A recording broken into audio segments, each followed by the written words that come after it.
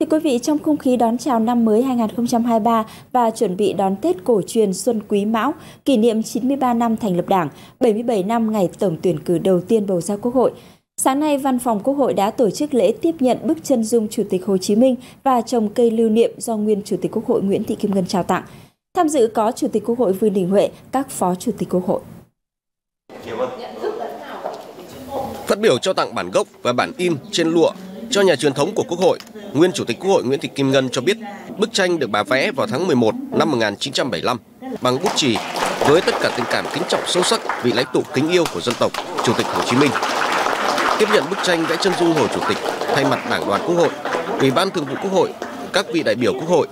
Chủ tịch Quốc hội Vương Đình Huệ trân trọng cảm ơn tình cảm chân quý của đồng chí Nguyễn Thị Kim Ngân và giao nhiệm vụ cho Văn phòng Quốc hội gìn giữ, giới thiệu rộng rãi đến công chúng, các vị đại biểu Quốc hội, nguyên đại biểu Quốc hội khi đến tham quan nhà Quốc hội. Cũng trong sáng nay, tại nhà Quốc hội đã diễn ra lễ tiếp nhận và trồng cây xà cừ do nguyên Chủ tịch Quốc hội Nguyễn Thị Kim Ngân trao tặng. Cây xà cừ này do Chủ tịch Quốc hội Thái Lan Chua Lệch Vây tặng Chủ tịch Quốc hội khóa 14 Nguyễn Thị Kim Ngân vào tháng 8 năm 2019 trong chuyến thăm chính thức Thái Lan và tham dự Đại hội đồng IPA 40.